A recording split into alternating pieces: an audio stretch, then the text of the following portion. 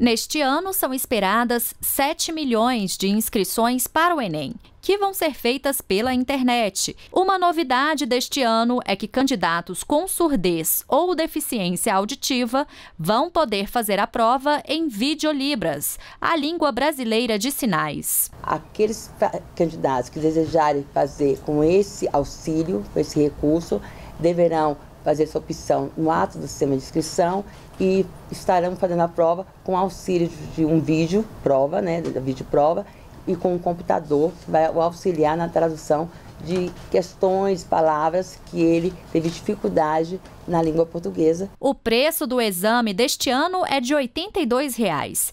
Estão liberados de pagar o Enem os alunos que concluem o ensino médio em escola pública, em colégio particular como bolsista integral, além de participantes do Cadastro Único de Programas Sociais do governo federal e de famílias com renda familiar per capita de até um salário mínimo e meio.